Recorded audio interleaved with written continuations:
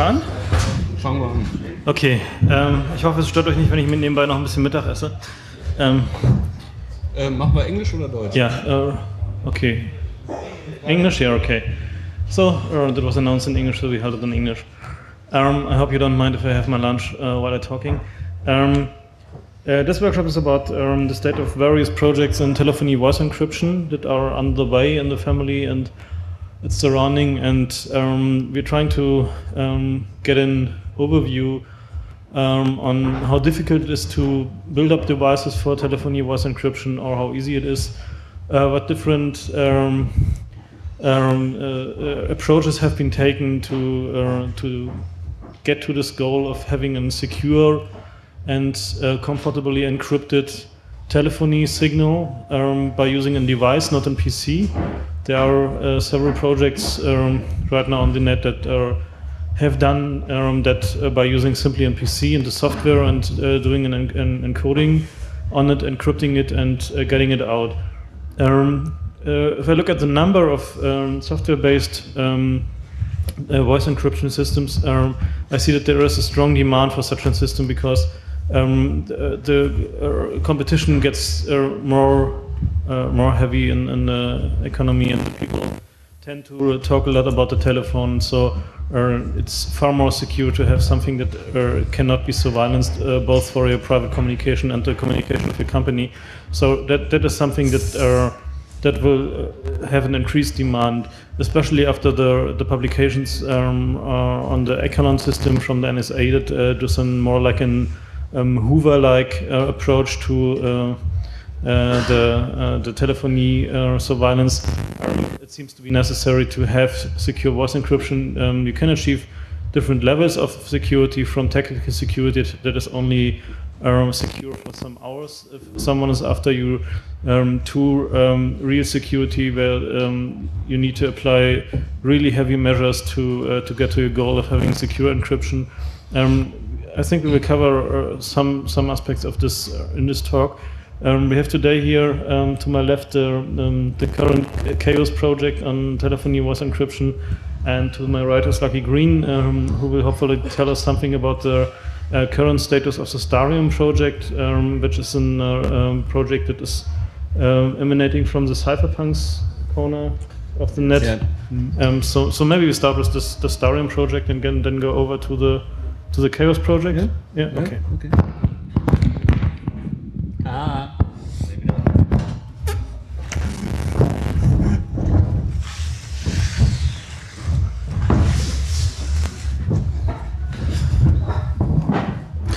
Good morning, folks. I'm Lucky Green. How y'all doing this morning? Everybody awake? Who didn't get a shower this morning? Raise your hand. Okay. All right, about thirty percent, huh? Um, anyway, uh, let me let me first say that I don't work for Starium. I absolutely have have no connection with the company other than the fact that the owner is a personal friend of mine, a longtime cypherpunk, and that I'm a very satisfied customer. But um, I don't get any money for saying good things about them, nor I think, nor do I believe Eric Blossom would be too happy if I said bad things about his about his product. But I actually like it. Um, Starium is a company that um, is is located in Monterey, California. It's just south of Silicon Valley. They have a, the company used to be called. Um, was it used to be called? ComSec, I think. Uh, uh, used to be called Communication Security Comp- uh, Corporation, ComSec. They have a box that um, is the form factor of a standard external modem. It contains a um, it, it, it contains a GSM codec and um, a hardware random number generator, um, triple DES encryption engine. It unfortunately it, it requires only a 14.4 modem, but unfortunately the modems talk sync, which means that it ha- they have to talk sync. Otherwise, it can't fit a GSM uh, uh, a GSM data stream into a 14.4 modem. The only way to make it happen is for the modems to talk sync. It, it doesn't work in async. Um, so unfortunately, software emulation is somewhat challenging. I've used this device now for a number of years, and I must say I'm, I'm quite impressed with it. Sound quality is excellent. I frequently use it for international phone calls. I use it for phone calls to Europe. I use it for phone calls to, to Japan. And the voice quality actually is in, is in many cases better than the voice quality of the existing line. So that that's certainly. I'm serious.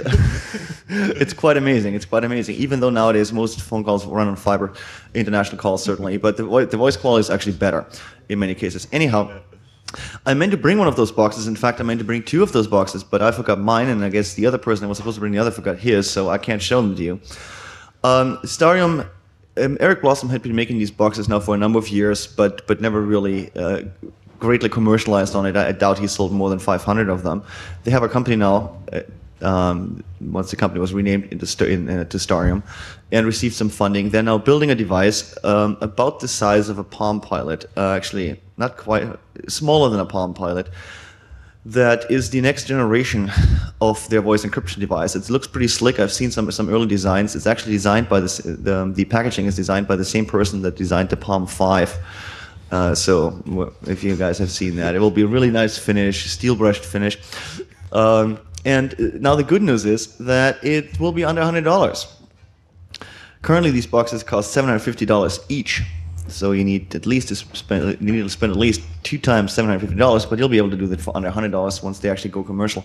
They also um, are talking currently with a number of um, of, of of cell phone vendors to actually include these devices in their phones and have made some serious progress there. Much to my surprise, I must confess. When will it ship? Um, oh yeah, it's uh, yeah, yeah. Yes, they will ship to Europe. Um, basically, what Eric will do is a very similar, very similar pl- uh, plan as uh, as PGP has done, namely to export the design documents and source code in paper form, which of course is exportable from the US. Uh, these things will be mass produced in Hong Kong and Taiwan. And so yes, you, they will be available worldwide. Let's see what else did it say. When are they supposed to ship? Well, they were supposed to ship uh, long ago. The new ship date, I think, for the first for the first alphas is is uh, sometime fourth quarter of this year. It's a pretty nifty device. If you ever get a chance to try one out, do so. So, uh, it will not be open source, I'm afraid, but I'm not sure whether. Well, it, I mean, it's, it's a hardware design. They're using they're using custom chips, so yes, you can make that open source, of course. But no, it won't be open source. Sorry, guys. Still cool though. However, we do have an open source solution here, and uh, Hacko, right? Do I remember Yeah, correctly? Yeah, yeah, yeah. yeah. I met this. I met this guy at the We CCC had this Congress. talk, yeah. Uh, Hacko here, however, has an open source solution, and probably yeah, we're presenting more about it. Um, Sorry. you're about to tell about Tron's project Later. later. Yeah.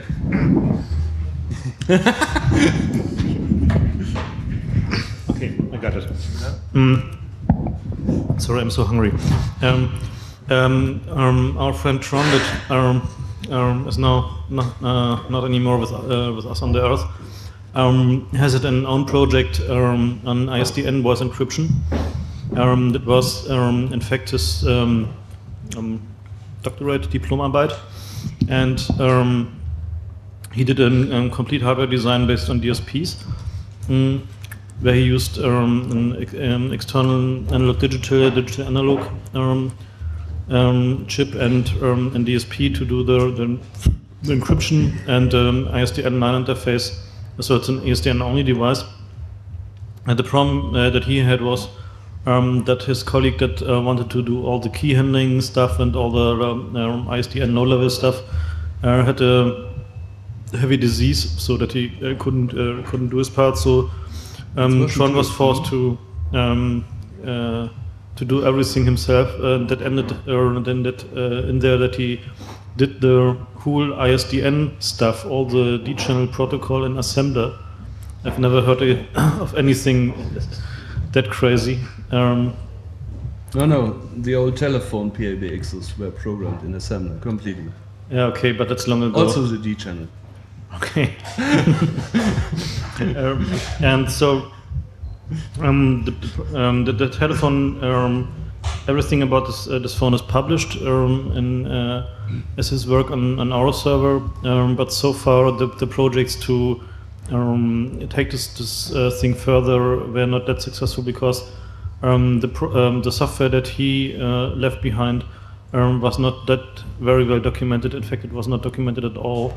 Um, so that's uh, nearly impossible for, for anyone to uh, to understand the software without putting in the same uh, effort uh, than it would require to uh, do the whole stuff again. um, um, he has uh, the, the, general and main problems uh, has he just, uh, that he has solved and the way that he has them solved is, are described in his um, in his text.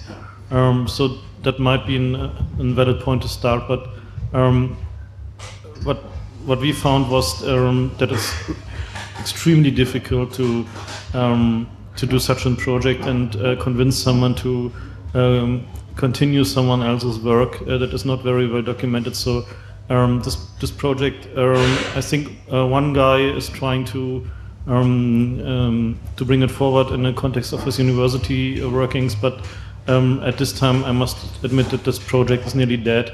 And um, so uh, I don't think that it will be continued. Uh, someone proves me that, that, I'm wrong, I would be very, very happy. But at this time, uh, it doesn't look like it is.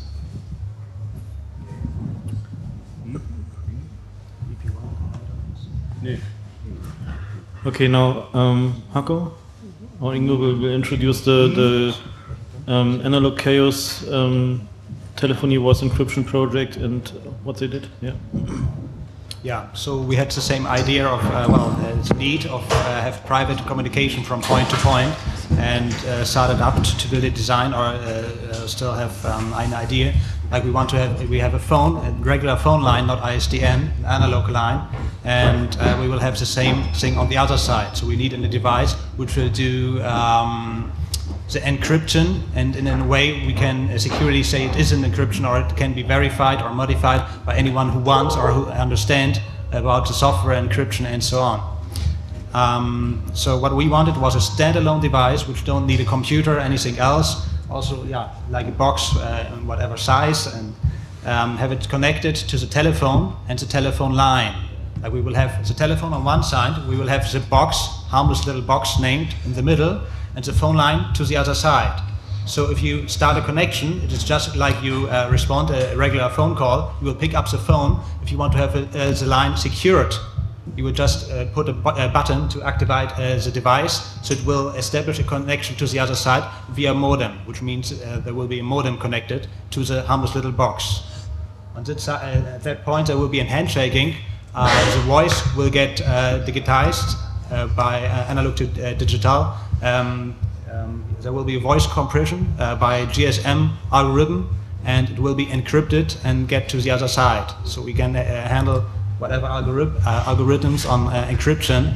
And uh, yeah, well, uh, by the way, we wanted uh, to have it in um, open source, which means um, in any point, if somebody else wants to, to verify this or have another idea or want changes, he will be able to do so. Everything on this phone will be free. It will be released, the board, um, the software, and so on. Just the only thing is uh, that commercial uh, commercial use is uh, prohibited. Yeah. This is the point. So uh, that was the idea. Any question at this point? So far, no. So um, yeah. So we will just show what uh, our progress is right now. We had some development over about uh, three and a half year. There have been uh, different microcontrollers which uh, with different uh, capability of, of uh, processing. Um, and yeah, right now we have a design we will uh, present right now.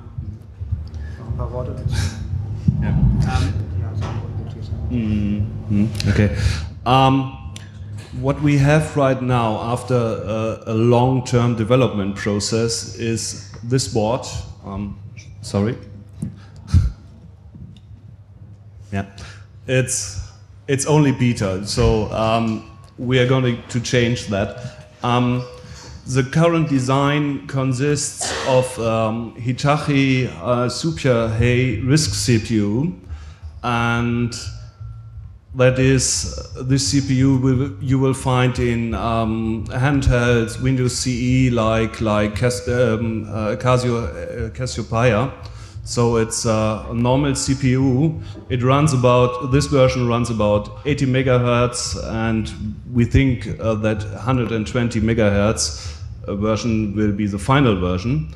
And so it does everything in software. We don't use any DSP. You don't have to hassle any DSP code if you want to program something on the box. And yeah, the basic design is just the CPU, um, RAM, ROM, and um, a serial interface. We have two of them.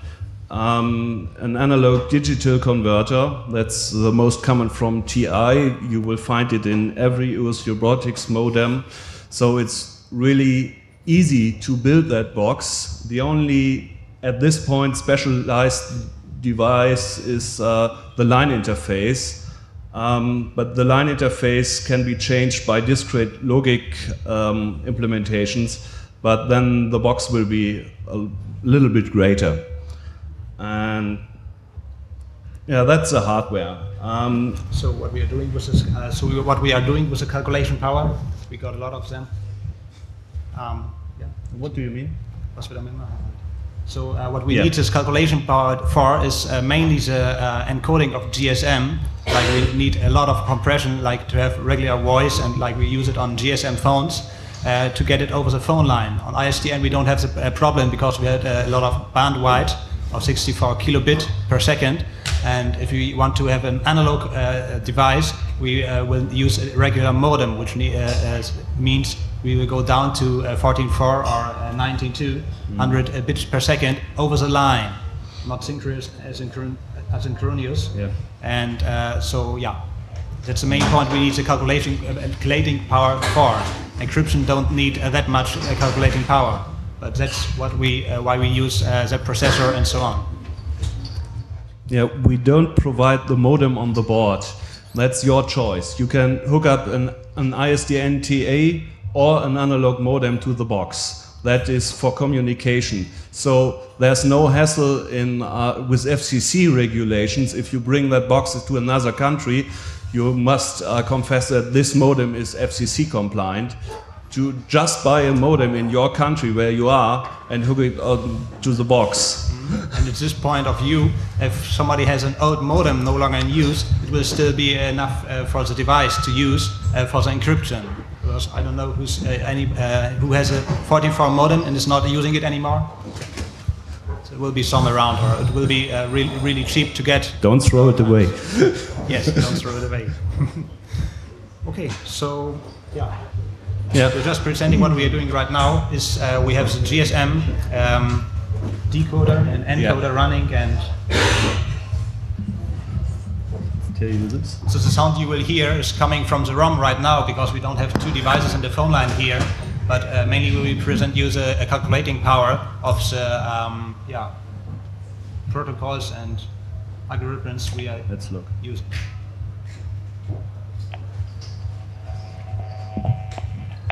Phone. Tut nicht. Beta.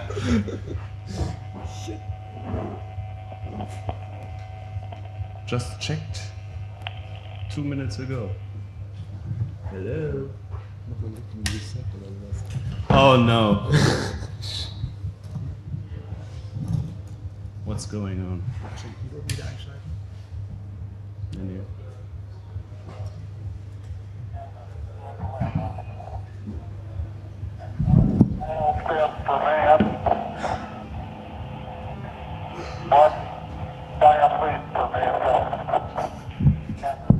Okay, that that was Neil Armstrong because this sound is not copyrighted.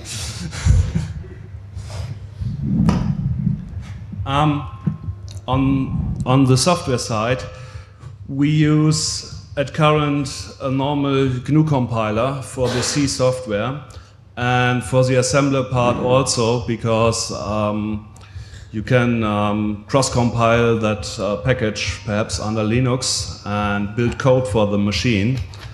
Um, you only the other software parts we uh, that are ported to the machine is the newlib um, because this library is um, reentrant and it utilizes uh, functions like malloc, printf, and stuff you always need. Uh, the next part is uh, we are using the GNU multi-precision library. So you need a big num library to do things like RSA encryption, Elgamal, Diffie-Hellman, and this stuff. And um, perhaps you can do it in assembler, but I won't recommend that. so if you have just a big num library, um, porting RSA, to it is just take you two hours and then it will run. And it's very easy. It's, they did a great job. it was easy for me. um, yeah, the part of um, what you will, um, how you will encrypt the data is um, the part of um, what security do you need, which means, of course, we can provide um, open key exchange systems, but if perhaps if you, for instance, choose RSA, you must take care that your um, private key is never published outside. So uh, I won't recommend storing your private key onto the box and uh, because somebody can tamper that box if, if he has access to it. So if you if you're choosing um, systems like RSA, you must um, we probably will provide a smart card interface, and then you will have to store it on a smart card and take it away if you are not communicating with the box. Um, yeah. For the other systems like Diffie-Hellman and Elgamal, it, this is not required to, to, to have uh, keys stored on the box because they are generated on demand. And um, as I now see um, an exchange and a calculation of uh, uh, 2084 bit key will take up to 15 seconds to exchange. So you have to wait until this key is exchanged and calculated, and then you can communicate, and then you have your then you must take care that um, the key you have to exchange for uh, symmetric key exchange um, is another secure communication way. So uh, what we will provide is um, triple DES, two fish, and and the stronger ones um, for communication or idea because but idea is more a problem because licensing if you put it on commercial perhaps is not permitted. And we will see if um, the, what what key system you choose is more, more a user option because the box comes with the software and if, if, you, if you tell if, if, if you are in fear that the key length is not big enough you um, have to can change it and, and just calculate um, with bigger keys and then you will see um, if it's working or if it's working not.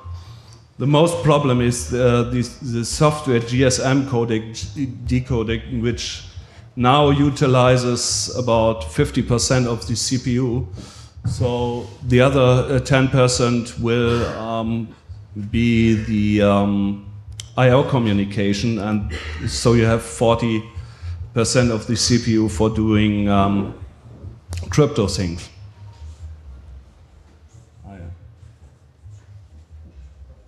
What is that?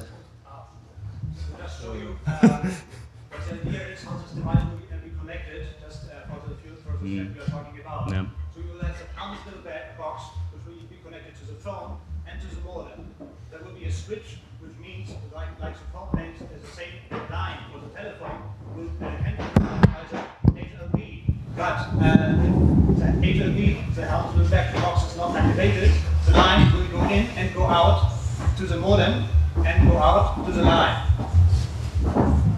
That means if the modem is not in use, the box is not in use, you can use your telephone like you're using it regularly. So if you want to activate the HLB, is a red button, a big red button or whatever, it means the modem gets activated. The line is no longer connected to the telephone. But on the same second, HLB will switch to provide uh, uh, support for the telephone, which means you can use your telephone and the voice will get, get in and out to the te- telephone you're using regularly. Just, just as the voice will get digitalized, digitalized uh, uh, to- Converted. and will get uh, encrypted and compromised to go through the, uh, through the modem to the telephone line. This is the idea about how the uh, box will work how it will be transported and connected everywhere where you have a modem. If you want to have a uh, more uh, uh, version, you still connect to the modem once again the telephone via the HLB, which can switch between the phone line directly, which will connect these two directly, or if it goes through the HLB to the modem, to the line. One, one major concern in the electronics design is that we um, the, guys try to prevent um, leaking of the analog signal into the uh, digital encoded signal on the telephone line, um, because that, that's one one of the major uh, forms of attack against uh, voice encryption devices. Um, is that you look for traces of the analog signal that's going into the device on the outgoing phone line. Um, so that, that is one thing that, that needs, needs additional measures. But one, one thing about uh, security level that uh, this device, of course, does not protect you against a bug in your flat. Um, if you if if you're bugged, um, this will not help you. Um, this is only the, the aim of, of such a project is only uh, to prevent um, your telephone conversations getting into this NSA Hoover echelon and being sucked up and analyzed. And uh, that, that is the only, only, only real purpose of that, uh, that project. And um, how much security you achieve with this uh, system is not so much a question of, um, of the uh, length of the key that you're using, but very much more an uh, question of the procedures you're using when telephoning is secure. So um, you, you need to verify with whom you are, communicating. You need to verify that the telephone that you are using is not bugged. Uh, you need to verify that your, your, your room is not bugged. So that, that, uh, that is a um, very much more uh, concerning problem there.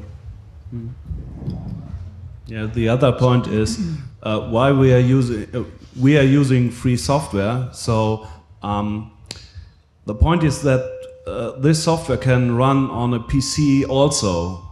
You have to change just the low level drivers and um, for serial and and audio communication, and then this software might run on a, Linux and or Windows or Macintosh also. So you have to you don't have to reinvent the wheel another time. And um, but that's not our point. So uh, perhaps if, if people like that project they will find a way porting it to other uh, platforms Gelegentlich. So uh, once again, for the security, this is attack on the. Uh, Frank. Uh, this will have to device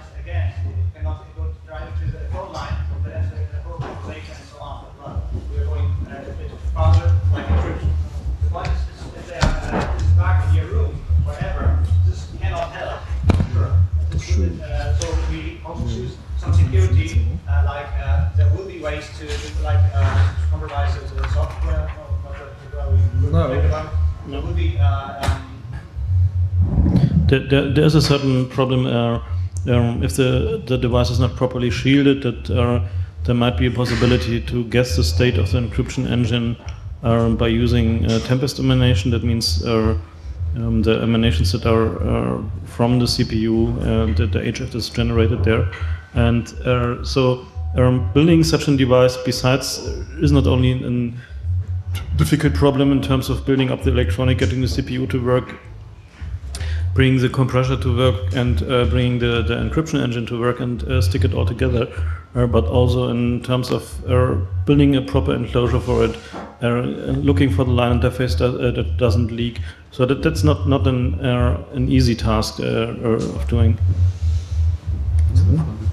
Aber, However, using the äh, light nowadays, äh, which the harmless little box provides the modem uh, to inject noise into a uh, digital line, uh, which leads to the modem and uh, notes out every voice which leads.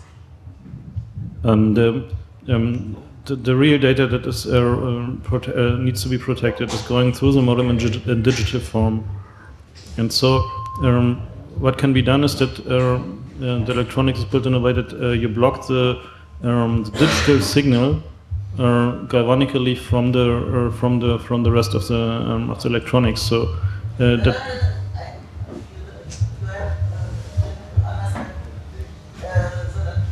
Light interface of the arm is with the box. Uh, the the upper, the upper one. No, no, no. This this one. This, this line, or This the line. outline. This. No, Look no, at the no. phone line and the line connected to the Hammersmith box. This line. This line. Connected. Right? Yes, yes. You get disconnected by the Hammersmith box, so Yeah. the telephone is not physically not connected to the line anymore. The second way, Yes, telephones like one Yes, the I- lines get Yes. connected the second He knows this, he just wants to insert noise there so that it may swamp out any, uh, any analog noise going over to a line. Because the, the, the speech is going to go either over the serial link or over that analog uh, phone wire coming from in the box. If you insert noise on both points, you have a point of, of there's, there's a chance of drowning out the signal. It's just that you need a lot of noise and you can still statistically cancel it out. This line from the box. yes. Verstehe das nicht. Er meinte, das digitale Signal oder die, die analoge Sprache überkoppelt auf diese Leitung und dann normalerweise die Brücke nach draußen ist, also die normale Ruhe, modern, Telefonverbindung, dass da du wirklich sprichst, irgendwie das Zeug überkoppelt rausstrahlt. Yeah, why not?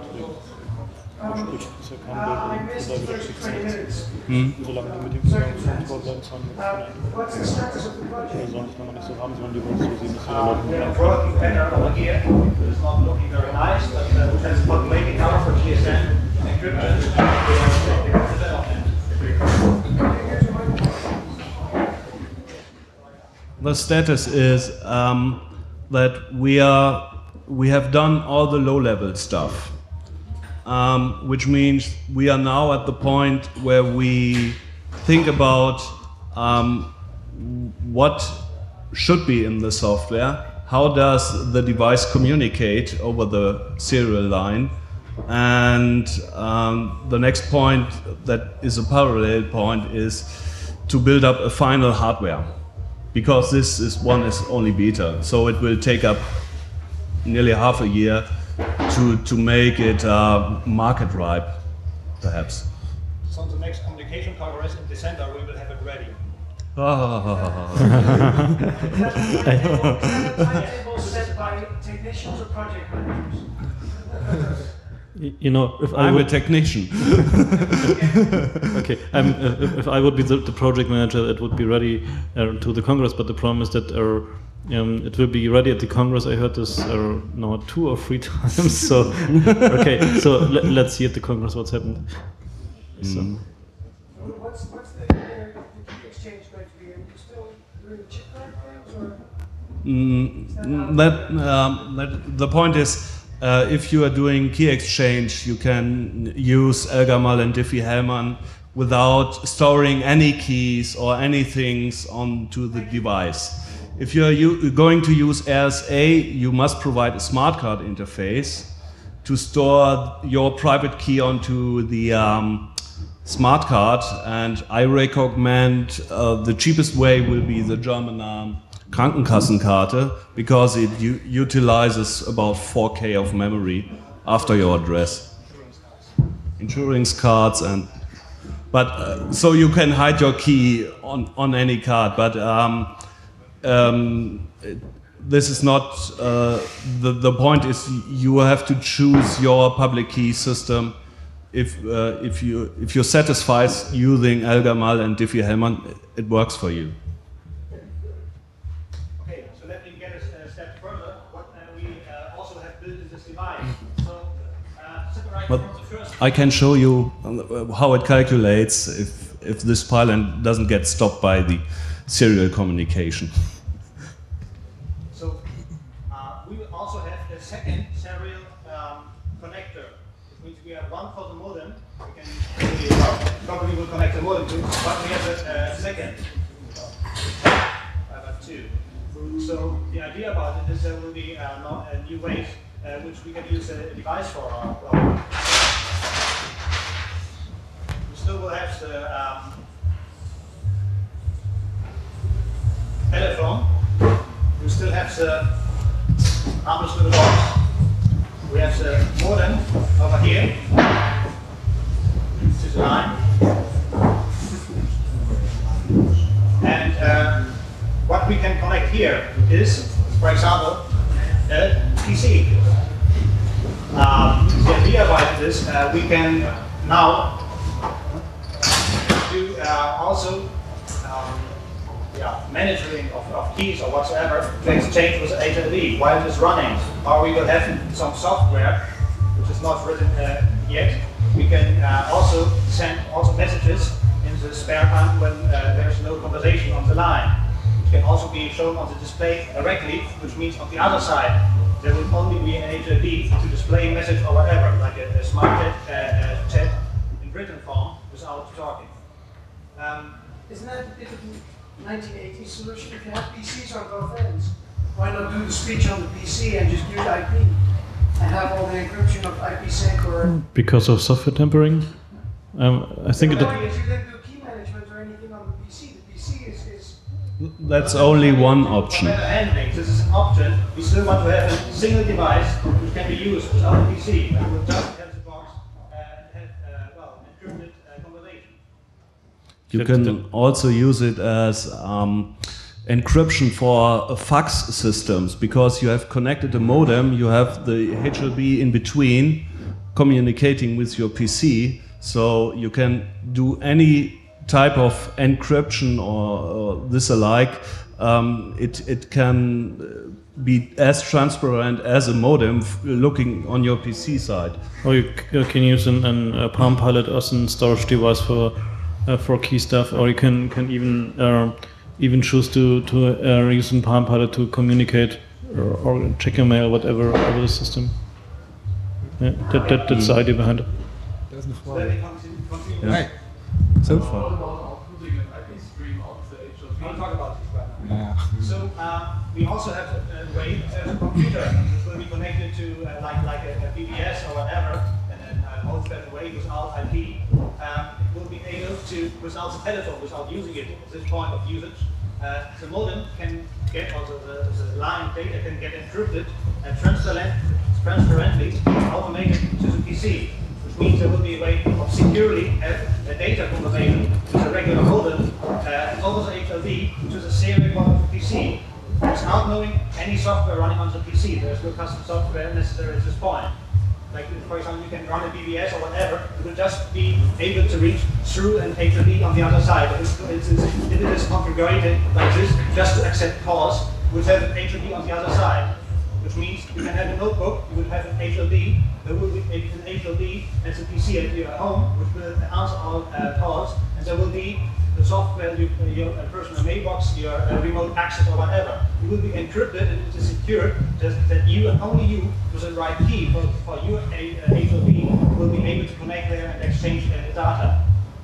So also you can use it for other um, software like PC Anywhere, I don't know, uh, for um, uh, remote access and uh, remote uh, customer service, to use, which we don't know if it is secure or not, or not totally, because this way the data which get uh, transmitted will get encrypted. And cards answered by the PC with the software can just get answered, uh, there's a uh, HTTP with the right code on the other side. Okay, so there's one more way. Uh, so say, uh, the PC will send the information will get encrypted and uh, the other way without telephone. We're talking about it right here. There's one more way, and uh, like if the modem is not connected to the HLB, it might be here on the PC. Um, can be IP or uh, whatever other protocol to get to the other side. So um, this point, you can also use a telephone once again to run through, uh, through the HLD, through the PC the software to go to, to, the modem. Uh, that's a waste of space. Yeah, please add a sound card and then do it also on the PC. Um, on this way, we can also do it over a TCP/IP. Uh, so it encoded and GSM compressed with the HLB. When you're using the telephone, uh, like a sound card, there's an like a sound card, and they're also doing a lot of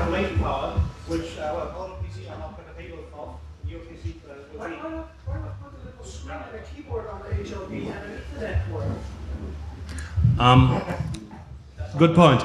Um, did you ever port uh, an IP stack to an um, just basic raw device? Mm, no, no, no, no, no, no. Okay, I, I, we were thinking about. Um, at the present time, we know two solutions that can handle it. Um, one point is porting Linux to the HLB, which is possible, requires a little more flash RAM because Linux utilizes about one meg of flash RAM. And uh, the current um, RAM configuration is no less than 4 megabytes. That's crazy. We, we, we never ever use 4 megabytes of RAM, but uh, it's the lowest um, uh, SD RAM we can get. Um, if you think that, that IP is a solution for everything, you can port either Linux or, but this is just too great. Imagine you have, you have a whole, you have a whole system and uh, the software um, uh, you are running for secure communication is that low and so you have to, to, to look if there's if, if nobody has tampered your, your Linux implementation with something, you have to check that. If, as, as far as the software is, is um, as close to the machine and is um, very small, you can control it. You can see what, what does this software. The same goes for the solution with using IP through the PC to the harness of the box. Nah, this is not the normal way of using it. But um,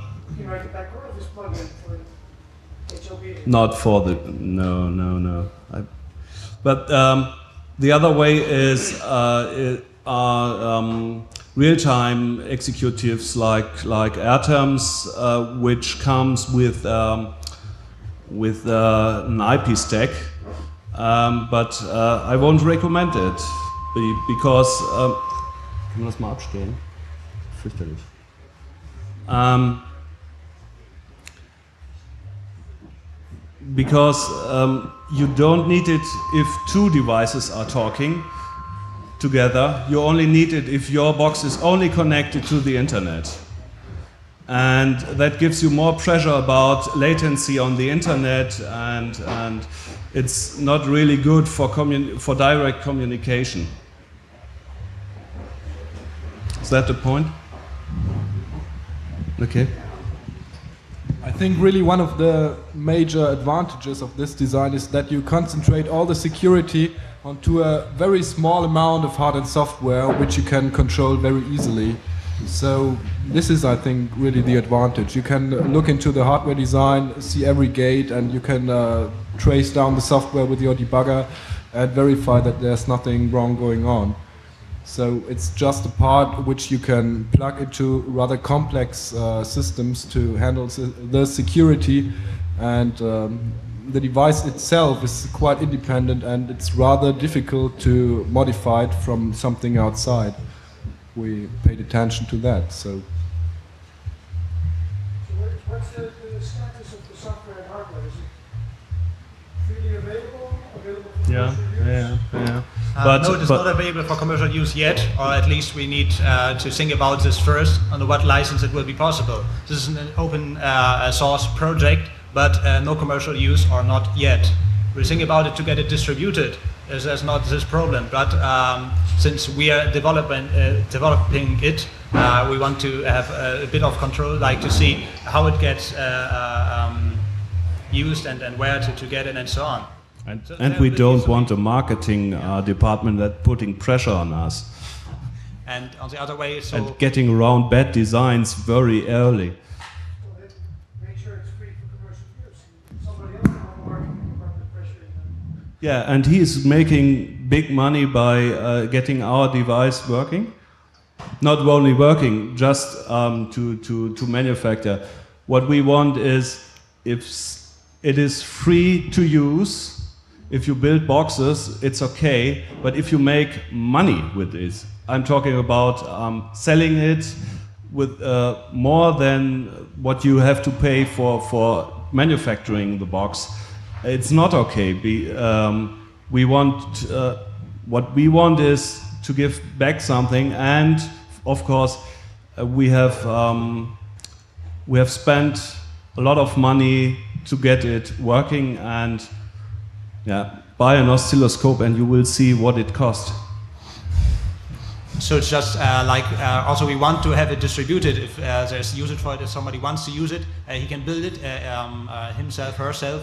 On the other hand, if there's commercial use, there might be if somebody well make uh, um, yeah a, a, a bit money when selling this and uh, doing service in this. Okay, but on the other hand, we want to have uh, the ready-built PCBs uh, with a processor on it, which is not easy to uh, solder on it, uh, ready to, to give it to uh, end users.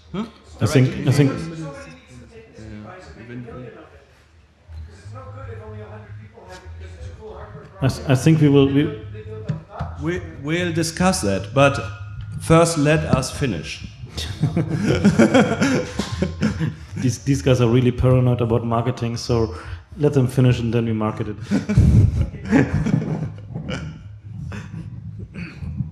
Yeah, just like we discussed earlier. Yeah. Yeah, yeah.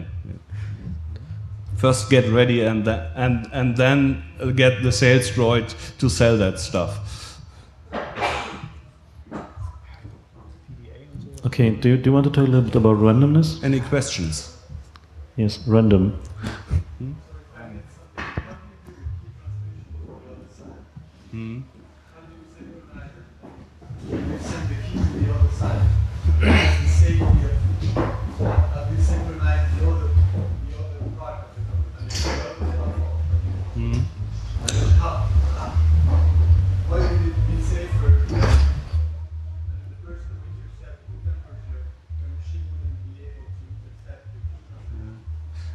You have basically two ways. Uh, one way is that you have a shared private secret key with the other user, so you won't have to use any pub- public key system. And if you don't have that, um, you have to use a public key system, which uh, what will come with the box will be RSA and Diffie-Hellman respect to Elgamal. So um, this is not a problem. The, there are more problems like um, man-in-the-middle attacks where um, your your key can be altered. Uh, so you have if if you are if you um, using um, these uh, key systems, you have to verify that the other side is really the other side. So you can you can do that by um, just um, transmitting a hash key. So both sides in, independently generate uh, uh, verify the hash, and and if you um, if you start to communicate, you tell the other side the hash key over the secure line. And if it matches, you're on the secure side because your key is not going to be altered through the hash key. So this is. Can I, Hmm? rephrase that? May I? Uh, Diffie Hellman is, a- really cool way for two people to securely establish a secret only they know. Um, so, Dann, dann, dann Hima gibt's uns. I think what hasn't been said here is that the Diffie-Hellman method, Diffie-Hellman algorithm, is a really cool way to establish a secret which only two people know, even though they have no prior exchange secrets or exchange public keys or anything. Uh, the only thing is that you know that you have done this secure communication with a party, but you don't know if it's really the other end or somebody in the middle. So if you if you make a short version of that key and read it to the other person, then the other person that knows your voice can then verify that, that you have the same hash as the other side. So any man in the middle would then have to intercept, be the man in the middle, arrange for two different keys because each party could verify that his own randomness was used in that, in that key, would have to intercept both channels, and would then have to wait for you to read that hash, have somebody there with your voice or some machine with your voice, and then instantly in, insert the other hash that you're not reading, and then have the conversation go back to normal, which is still possible, but it's a drag, and it's not something they can they can afford or easily do for millions of communications at, all at the same time. And So in an automated way of uh, man-in-the-middle attack while on on, tech, uh, on on modem on, on serial um, data conversation, it might be possible to do a man-in-the-middle attack on, on human interface with voice. It is well, Yeah, It's a but different it, it thing. is it is Like- a form of biometric authentication because it uses the voice. But you can you can also uh, uh, do things like um,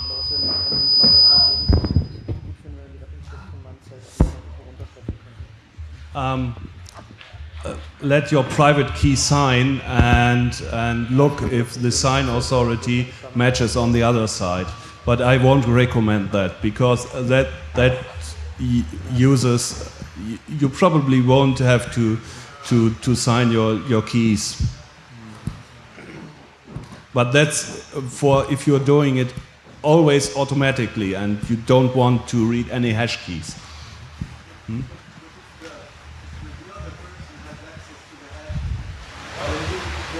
can you use the microphone, please? Oh, thank you. So if the other person has the access to the hash key, then why wouldn't he or she have access to you reading the real key? Pardon? The other person does not have access to the key that you've transmitted to the other party if it was really the other party you're talking to. Two, two parties can establish a key and establish that their randomness went into it and the randomness of some other party, and one only, went into it. So they can establish that, that only you and some party out there know a secret and that the secret is based on what you, what you supplied. And then the only, the only thing left is a man in the middle attack, but then you wouldn't have the same secrets on each hop. Because you can verify that your randomness is used and only one other. The other party can verify that his or her randomness is used. So the man in the middle would have to establish two different secrets to, be, to each end. And you could verify that you have different secrets by just reading them, or a hash of them. Okay. Okay, there's, there's another option if you're working with people you know. Um, you can share uh, a key by giving it to them. So this is really quite secure. Um, you can basically use your um, Krankenkassenkarte, uh, the card if you're ill here in Germany. uh, It has some kilobytes, we talked about it already, and fill it up with random data and use it as a one-time pad. Um, so then there are no real key exchange problems, but you have to meet the people before. Um this is one of That's the not the reasons. key exchange problem. No, not Yeah, that's a that's a different key exchange problem. okay.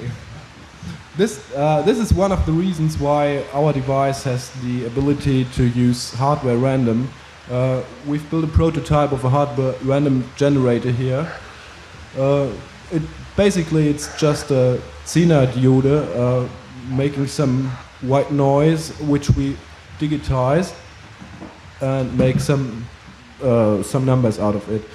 You don't have to do that. Um, you you need some random data for public key uh, stuff too, and so this is a user option, I think. But in my opinion, it's it makes sense. Now, how can it be a user option if, if, if the device does Diffie-Hellman? Uh, there are Because the device is not going to do Diffie-Hellman if it doesn't have any randomness. There are other sources of randomness you could use. However, they are not really that good. Yeah, so, so it shouldn't be a user So- option. The, the problem is it's that also yeah. hmm? it's a cost problem um, uh, mostly because uh, tuning that uh, that uh, hardware randomness device uh, in a production line is not that easy, and um, you, you need to shield it so that you have no uh, no outside HF interference. Because if you can interference with it, Yeah, you can swamp it yes, you can with swap a it. yeah. So, um, so um, the, the, usually the, the randomness is generated like in dev random under Linux. So, but you know, even dev random is not not really, really random. And you don't know who owns your Linux.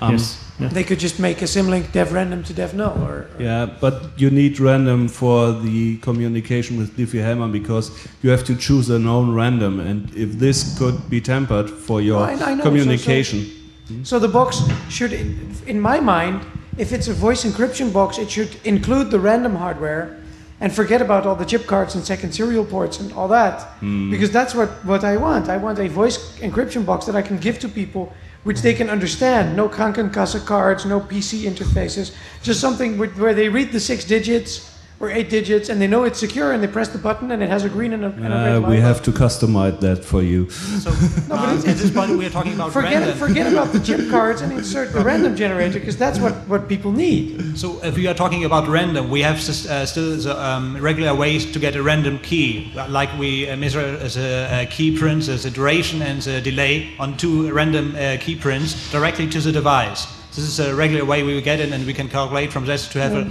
re- regular random key. On the other side, if uh, you're really paranoid to, to get spied on this, we have a pin on the CPU to support a hardware um, serial yeah, uh, hardware random input. You can buy, uh, build a device, you can get uh, um, a PCB for it or whatsoever. Even if it is get compromised, if it is uh, able to measure, if it is not working at all, for example, it will get uh, verified by the device, like uh, statistics, if there's uh, enough uh, yes and no to get a, real random or something like it. If not, it will not accept it from this pin. But this is also, uh, um, well, it's the device will get bigger just for the random, which is uh, just a, a very small uh, bit in relation to the key uh, pr- uh, presses, for example, to get this random.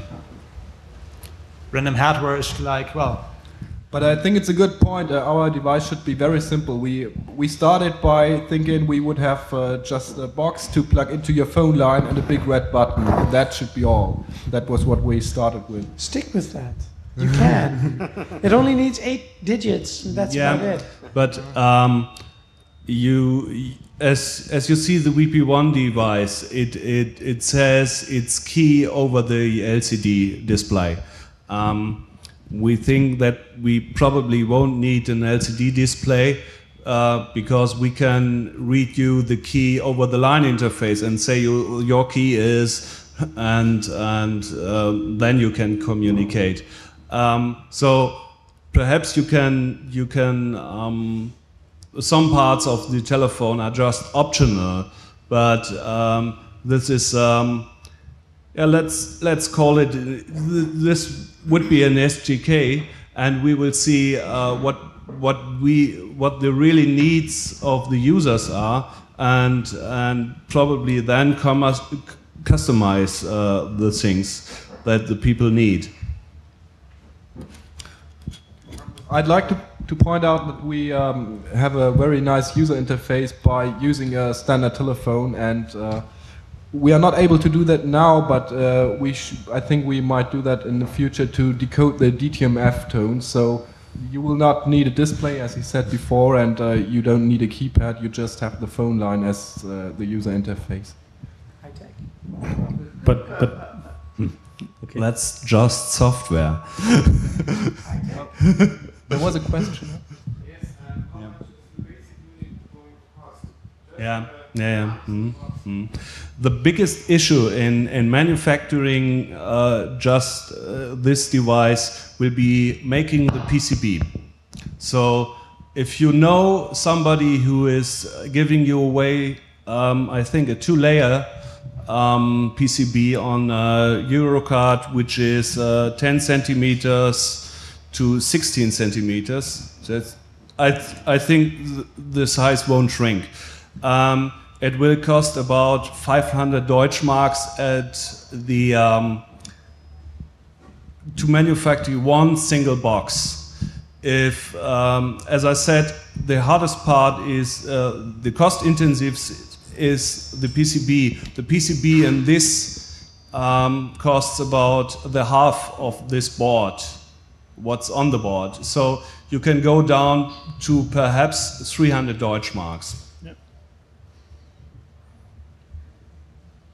But then you have to, to make certain uh, 10 boxes or so. A single box will cost you 500 Deutschmarks. I- I think there, there, there will be some, some sort of uh, uh, do-it-yourself kit, do, do-it-yourself kit available that um, has uh, the nasty parts soldered on there. There um, two chips on it or three chips on it now um, that are really nasty so, to solder by hand because the the pin uh, uh, pin uh, pins are very near, uh, and so. Um, I also think that, that we will find a way to, to sell these uh, this hardware in a um, politically correct way, and uh, in a way that, that the people that who developed it uh, get the benefit from it. So um, expect to to to, uh, to have it uh, below the 500 Deutschmark range, which I think is an, an, a very good price for for a uh, voice encryption device in comparison to. Uh, 2500, which is the nearest uh, competi- uh, competition from uh, Siemens or uh, Deutsche Telekom for one device. But they're utilizing only ISDN, I think. yeah, the, the, these these are these devices only utilizing ISDN and. Um, But at least they have a back door. yeah? At least they have a back door. Um, Yeah, the, the, you, the you- you don't know. You the- don't know. the You don't have the source. You can't look on it. The interesting So you know. the interesting part about this, I, I- I should I should say something about commercial uh, stuff. Yeah, that, that is necessary. Um, in, in Germany, there are currently two main brands of uh, telephony voice encryption uh, systems. Um, one is made by Siemens, and um, another one is made by uh, Deutsche Telekom. Uh, they are not manufacturing uh, them by themselves, but marketing uh, Really? it. Yes, uh, that's On their own? Uh, on- Not invented by, by a company? Um, uh, it's branded Deutsche Telekom and uh, the, as far as I can say, the Telesec part, they're using the Telesec infrastructure, which is a chip card system that uh, has an RSA coprocessor on it, and they're uh, using the uh, RSA coprocessor to uh, to, to uh, generate the session key and that stuff, and uh, have the secret keys uh, safely in uh, in this card. The problem with that system is that um, currently you need to get your card with your secret key from the Deutsche Telekom, who of course promises not to store the secret key away. Um, but uh, that, that, um, there's one project currently underway to emulate this card so that you can uh, simply buy such a box uh, from Deutsche Telekom and uh, get an get a general purpose uh, uh, microprocessor uh, smart card and okay it might be a little bit slower the, the key generation phase but it, that's that's not a real problem. And um, the only problem is that uh, it costs 2000 Deutschmarks and you're still not able to say if they are leaking uh, clear text or, or keys uh, in the uh, in the ciphertext um, uh, because of the hardware design. Um, most of the people concerned with, with, with this thing are uh, are thinking that the hardware itself is secure, but the, um, the backdoor is that uh, they store away the secret keys, uh, but you never know that. So that uh, that, that is an, an option that uh, might be available in, in one or two months. That that you uh, go to uh, to a general purpose smart card vendor. Um, like for instance, site control uh, buy a, big smart card um, that is uh, normally for your uh, for general purpose smart card processor stuff. Load up in software from the internet and uh, store your own secret key there. Um, but that, that's an expensive option. So uh, 2,000 Deutschmarks uh, for one site is is not that cheap. The original uh, Siemens cryptophone stuff is uh, even more expensive and is even more insecure because. Um, they not only have uh, that, that same thing that uh, they give you uh, the cards with the secret key, um, but there are there are also rumors that uh, on this uh, system there is um, audio clear text leaked on the line, so that that, that is not, not a real option if you if you really have, want to have security.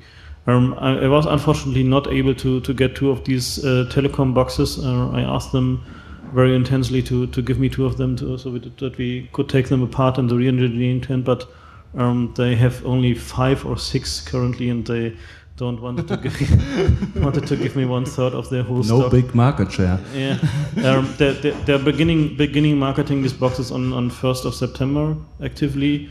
Um, there, there was one small test uh, that did only test the the, uh, the comfort in the c't magazine uh, last week, I think. Yeah. And um, uh, up on this test, I tried to, to get these boxes, but it, it was not possible, at least not for me and for this camp. So maybe um, I I think we will have them at, at the Congress, and I think we will have uh, the guy who developed the boxes at the Congress so that he can prove that he has no backdoors in there. And um, I, I sent him an email, and he said, okay, he might be interested to come. Then I sent him an email back and said, okay, uh, we want you to have the source code listing of your telephone on the stage, explaining you every little line why it is there. And I have not answer, no answer yet. Let's see. Okay. Um, there are other commercial uh, uh, voice telephony systems um, that, that are around. Uh, the most uh, knowledgeable one is are the STU3 units. That is uh, um, the commercial um, and NSA-sponsored uh, secure telephone units um, that are uh, American government issue.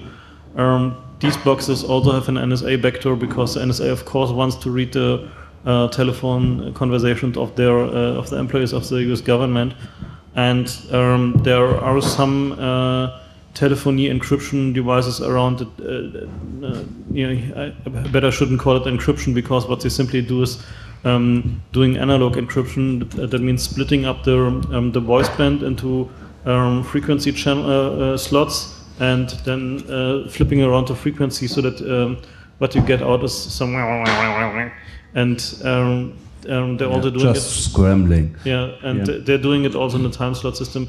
That's that's very similar to what, what you sometimes hear on on, on the uh, uh, police radio. What they're using, that's a very crypt system.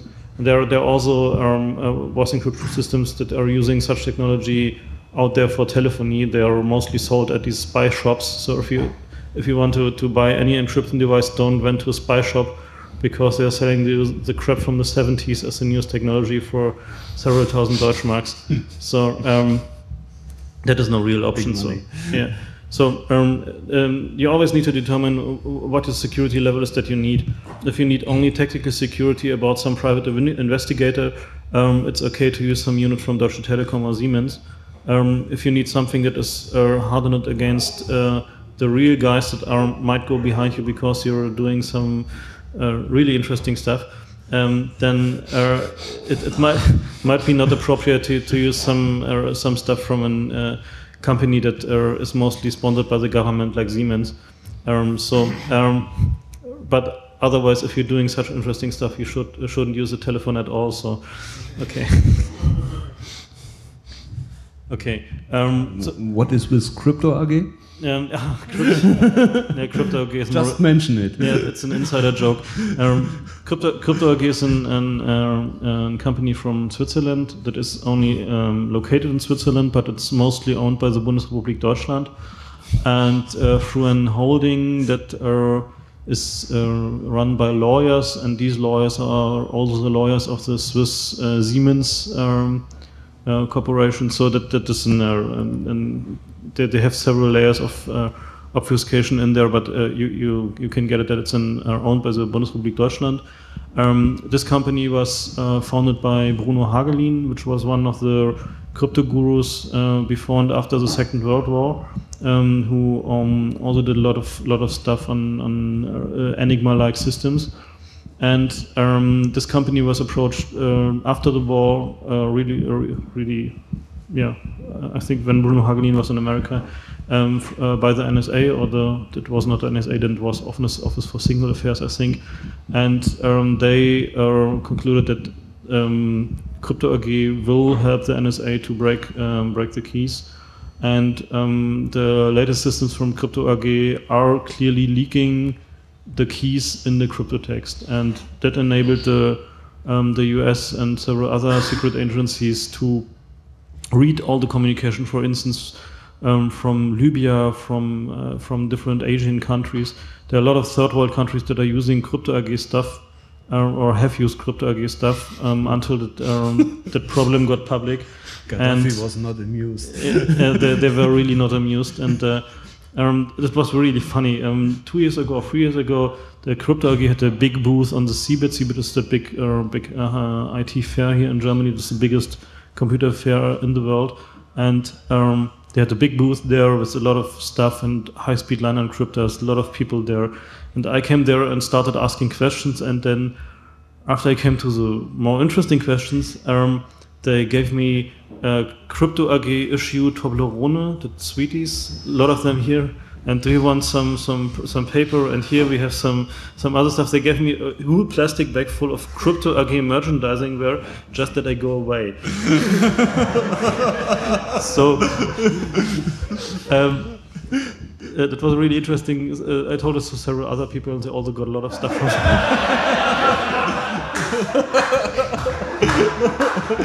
and um, the next year, um, that whole affair was um, the, um, it, it became public because a technician from Crypto AG was arrested, I think, in Iran, and uh, or was it Iraq? I don't, I don't know. I, I just confused these uh, two countries, and um, they. Um, because of suspicion that uh, uh, the Crypto AG is uh, leaking keys, and uh, this poor guy didn't know anything about it, and they held him for about a year or something like that. And Crypto AG did make the failure not to get this uh, this guy out there, and uh, not to help him. So this guy got really what do you uh, call a disgruntled employee, and. Um, he started started researching and uh, uh, that that, uh, that brought everything rolling and so it got public that the crypto AG keys were leaking. So and the year after that on CeBIT, um, the crypto AG had a booth that would fit here in the corner, and the,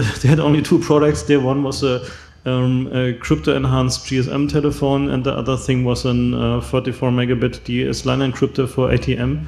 And um, you had only one person there on the booth, and they had no merchandising material. Even if I started asking bad questions, they were completely ignored, and they, I think they are they are practically out of business because um, uh, trust is everything in cryptography, and um, that, uh, I became suspicious the year before then because um, I asked them what, what algorithms do they use and uh, what the key lengths are, and they have some some very uh, slippy uh, uh, things about on their on their pages how long the keys they use are, and um, if you ask them what algorithms they use, they say, okay, your dear customer for us so important that we design for you a special algorithm. and um, then I asked the guy, uh, you know what you're talking about, and you know what cryptography is, and you know how cryptography works, and you know how algorithms are verified. Yes, yes, we, are, we have a lot of cryptographic experts, and we are custom designing for every our customer that uh, uh, buys uh, some some devices from us and special derived uh, of of uh, the algorithm we use. So th- that is that is really really really snake oil what they are selling there, and um, so I, I think they are out of business now uh, nearly, and. Um, there are some Israeli companies that are selling also crypto stuff, but um, as usual, don't trust any Israeli high tech uh, more far than you can throw it because um, um, Israel is a an, an very small country and everybody is, who's somehow smart there is getting in contact with the security establishment there, and uh, uh, especially the high tech companies are under heavy under heavy influence from from the security agencies there. You can surely bet that uh, Israeli security high tech has backdoors. So. Um, you also can buy uh, voice encryption stuff from, from bigger companies like um, Cryptocom in, here in Germany, in Aachen. Um, they're doing um, more the high-speed uh, crypto stuff, like not not a single-line POTS interface crypto telephone, but more if you have a T1 or a 2 megabit line or whatever um, to encrypt, you can go Sorry, there. I don't have that. okay, um, and maybe maybe you have you have uh, two two locations of your company and uh, and have a VPN there and, and need to to connect uh, these these locations securely. You can buy the stuff from them. But uh, what made me a little bit suspicious was that uh, uh, this Cryptocom uh, is partially owned by a South, Ameri- uh, South African holding that was formerly very active in arms trading and in several other suspicious activities. And so, um, yeah, it's it's better to build your crypto yourselves and, and look at the code and look at the hardware yourself because all this this commercial stuff is somehow a little bit suspicious. Yeah. Yeah, I know they're, they're now sold to, to Utimaco, and uh, this uh, South African holding has now about eight percent or whatever on, on this, ten percent yes on the new venture, and uh, but I'm still suspicious because that is uh, yeah, I, I don't know who's own, who's owning Utimaco by the way because Uh, uh, I don't think it's it's all German anymore. Belgium. Okay. Huh? Ah, okay. From Um, okay. Did I mention that we um, try to build an US import version, which uh, reuses the key lengths in certain ways? So um, the US people, if they really use it as a compiler define, um, won't have any trouble exporting it. Okay, so it's a 40 bit uh, just technical security. yes, version. as a uh, to uh, 512 and and um, RC4 for, uh, 40 bits, and, and that's enough. Yeah. At least we for might, we might also from have uh, a version which is not doing encryption at all, which is just uh, to do voice over modem. but well, this will be an option. that is the, the option for the French people then. Just to get uh, better phone lines, that, like there will be no voice on international calls. Yeah. Have you have you given it a thought to do uh, to do uh, high compression algorithms like uh, uh, the uh, linear predictive codings? Yeah, we have verified that, and I must say that um, this CPU has no floating point. So um, all these implementation we have seen that I can may use for for uh, doing a better using a better codec are mostly floating point. So um, and they are so intensive in, in, in calculating that it won't it really won't run on, on this hardware.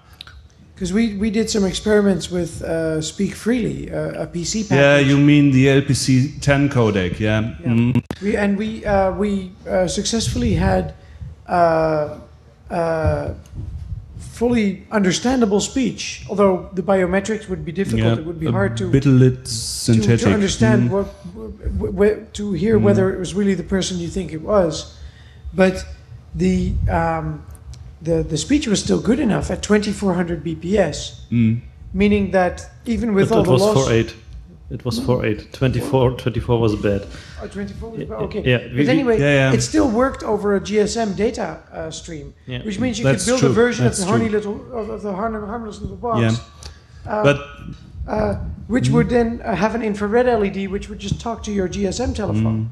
if, if you, um, the point is, if, if you try to use that codec on, on integer, integer only hardware, you have to redesign it and to re-implement that to uh, to um, make down these um, what they what they do.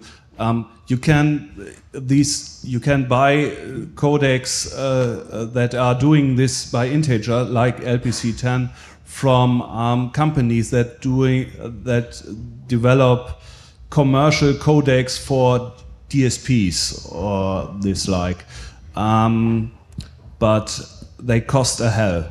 And, I mean, to license or, or every Yeah. time. the license, the license, and uh, mostly they they charge you about hundred dollar per license.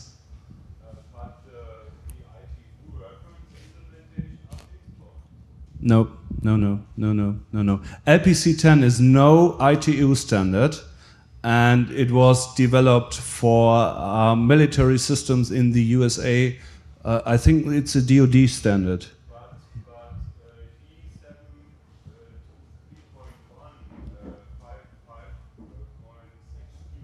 Yeah, and the reference implementation is still floating point. The ITU reference implementation of this coding is floating point. You are not allowed to use it in any way, and they will sue you.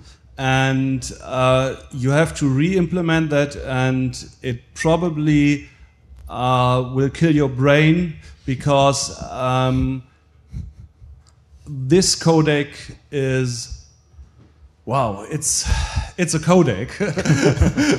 it's just not the the uh, lousy GSM standard, and and you have to to to do, um, yeah, too much to to to get it down to this. Yeah, LP, LPC10 was was developed on or as uh, on a DoD contract uh, to have a secure um, uh, two-way radio communication for the army in the field. Um, over a very small bandwidth. So they they are using uh, using it uh, um, on radios that have uh, really 2.4 um, uh, bit, uh, 2.4 kilobit uh, bandwidth uh, on shortwave radios um, to have secure communication there. And so um, this codec is fantastic, but a little bit uh, nasty in, Yeah, regarding we'll to the see rights. uh, how it works with the 120 megabit version, Yeah. uh, uh, megahertz version. Perhaps it will do it, but um, um, I can't tell it now. yeah. Uh, we might upgrade our hardware to floating point. it might be cheaper than buying a license. Um, yeah, perhaps we we uh, because we are only using the uh, SH3 version. If you buy a Dreamcast from Sega, uh, which is the next generation, it probably will. It's strong enough, yeah. Okay. But uh, the point with GSM uh, is that uh, there's an option. We have IRDA, um, infrared uh, data. We could uh, connect uh, an uh, diode to, to emit such light and receive this. And by that way, you could connect with your GSM handy, which typically has this feature too. And if we are able to reduce the data rate, you could then have secure speech via GSM. I suspect that we have faster or higher bandwidth over GSM than you're already with this hardware. No, no, no. no. and- Perhaps for E plus, but not for the DNet. Okay. No, no, no, no. And remember, infrared is light, right? So shield. Yes, Shield that light. yes, yes. But Make a tunnel to but a, with- a No, it's paper encrypted, uh, it's from encrypted. It's your phone. encrypted already. It's encrypted It's encrypted, I'm- yeah, that's no problem. I take Isn't that back. it? Or see to it. You, you also can do it serial, so. Okay. Okay, I write down an uh, URL to get further information. You can find all the source and uh, the hardware design too there, and an email address um, if you want to get in contact. Yes. Yeah. So also, I have a question. We have to um, set up. Uh, of those persons still uh, uh, be here. Um, who's still interested in this project? We need Raise volunteers for the Windows software. And who's and who's able Hey, to? come on, come on. So come on, who's able to The program Windows on software PC that on, actually uh, talks on, to the box? Huh? The Windows no, software that runs the software on a Windows PC because you you you need the HLB only if you have no PC with sound card and enough CPU Okay. ready and a modem. But in you can words, run the same software on a PC on whatever operating system. Okay, so so you're planning a set of interoperable things. You're, you're planning Yes. a, a, a hardware device, a Windows implementation, a What Linux we are Right. implementation. doing right, Right. now is a standalone device, but uh, to, to extend the capabilities, Yes, uh, we want Windows uh, um, software. We will need this, and right now our team is just limited to develop uh, the hardware itself. Mm-hmm. But we want to extend our team, and if there's somebody who's volunteer and uh, is uh, capable of programming on uh, Windows, Windows NT, Linux, whatever, uh, um, well, feel free to uh, contact Mac us. OS. Or Sorry. There's no license. I sue you. What do you mean? It's free? Uh, No, you can have the source, but if you build commercial projects with it, uh, it is not allowed. but what if you don't use the source, but you want to be interoperable? That's okay. So in other words, I have no problem with that. The protocol is open. Yes, but it's still not designed. To take that in mind, it will take care of designing a, a good protocol. We have um, uh, the protocol from the VP1 device, and uh, perhaps it it will be similar to that, but perhaps not. I don't know because we have to keep more in mind not only for uh, using it on analog or ISDN lines. All, uh, we have to design it for IP networks also, not to reinvent the wheel if we ported an IP stack to the box. So somebody is interested in joining our team of, of building this device and all this uh, software, please contact us. We want you. okay. Okay. Any more questions? What are the processing requirements for IFA for key exchange? Not much. Hmm? the, the company I work for uh, built an ISDN telephone and they cancel the ISDN telephone that drop, Mhm. but we still have to design, and I designed an RC port out of 24-bit encryption in that ISDN telephone, but I have no way to exchange the keys. Mhm. So, so if, if you have this different element, and, Mhm. and I find uh, the source of randomness Mhm. in that Yeah, that- yeah. nice. It's it's no problem because I'm utilizing the normal um, um, GNU multi-precision library that can be downloaded from the net everywhere, and the code for implementing Diffie-Hellman with this library is is it will fit on on on on onto this because it's very small. You only have to to to read applied cryptography and then hey, let's let's do it. Just implementing it will, will take you two hours if you use this library. If you have to um, to to make your own big num library, then you will have to do more. the, the telephone currently, uh, the RC implementation is an assembly, and it's for the um, APC31 microcontroller. Mm. So I have a problem there. That's APCs. But can you can you port libraries from the GNU people to your telephone? I mean, the compiler we're using is not a 32-bit compiler, so, so you have problem calling new code. Mm. That, that's very difficult. But uh, I found um, a short C code uh, on the net that's doing um, Diffie-Hellman in only 10 lines. But it's not, um, it's, it, it, I think it was from a C um, contest because it's, uh, the 10 lines are full of of information. So you have to, to bring it down into a beautifier. But uh, this code is very slow very slow on, on, on, on a m- normal machine. But it implements everything you need. Very slow means what in terms of seconds?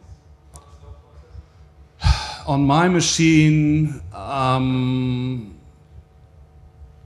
10 seconds but um, this was calculating for a pentium uh, 350 megahertz. So uh, I, I really can't recommend that code.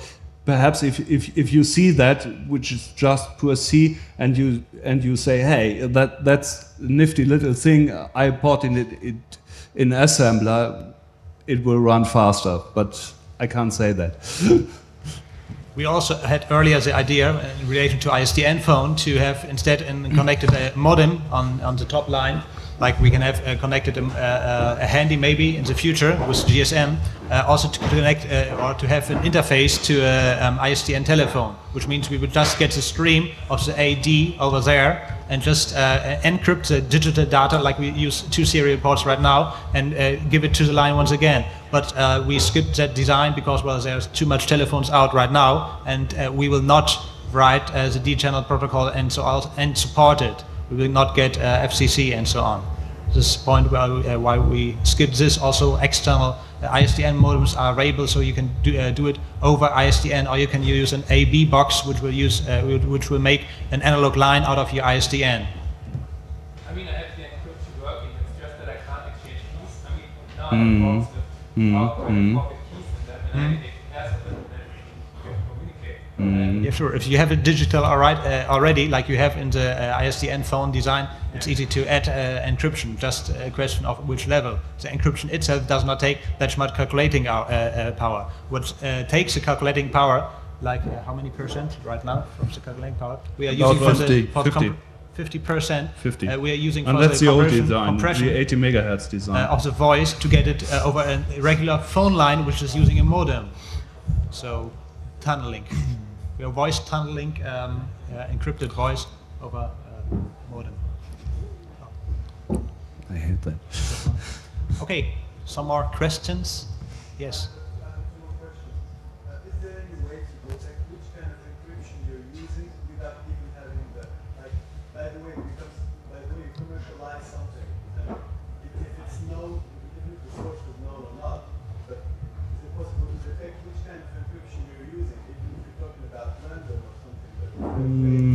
How using if you're using the de- device, if you press a button to get encrypted, or if you uh, get a device which encryption is built in.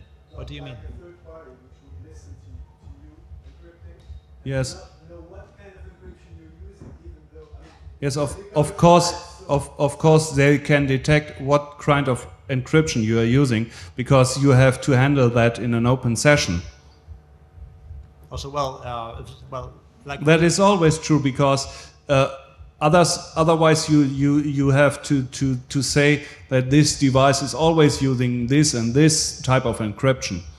So you have to, to exchange the type of encryption, the bits that are used in an open session. So they will probably know about, it, but probably know, okay, it's wasteless, it's a waste of time because he is using uh, a four kilobit uh, uh, bit key for, for doing the calculations on the public key system.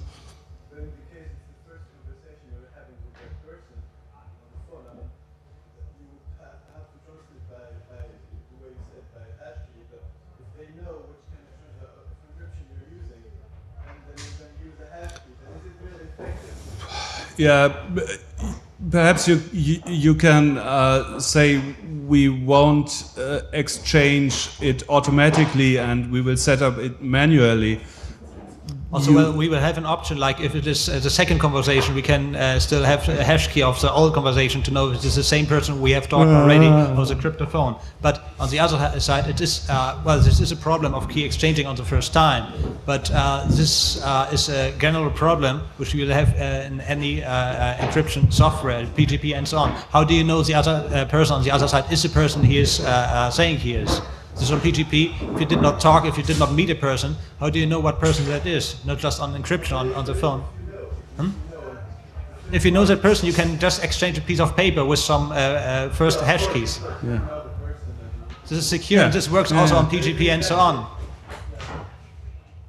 I have the other question that the fact that most of the other encryptions have leaks, is it, do you think it's just backdoor, bad faith, or pressures? And do you think it's really possible to commercialize a system without having those pressures on you?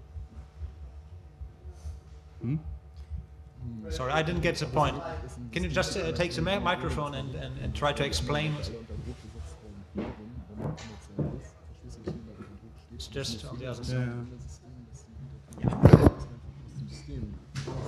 I just said that if, if is it really possible today to commercialize uh, any encryption system without leaving the without leaving any leaks?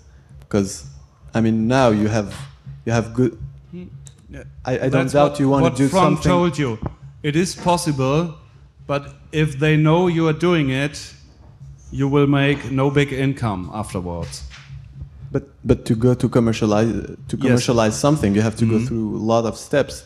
So during those steps, you think you're going to go through without leaving leaks. Yeah, but but if you if uh, the point is if you if you um, Also, if- on a commercial project, uh, later you can uh, view the source and verify that it is the same which is publi- uh, published. Like you're not just getting the device with a, as a ROM and so on, but you can also hash the ROM and verify it and reflash it or whatever you want to verify that you have the software. You can exchange the firmware with a, a firmware available and which is uh, publicly dis- discussed. This is an open uh, source project. If you want to discuss uh, the encryption, it will get uh, um, discussed. you only have to build the hardware. The software you can compile you can compile on your own. And you can verify and you can get it from the person you trust if it is not tampered or verify it yourself. okay. Okay. Next question. No questions. No. Okay. Thank you all.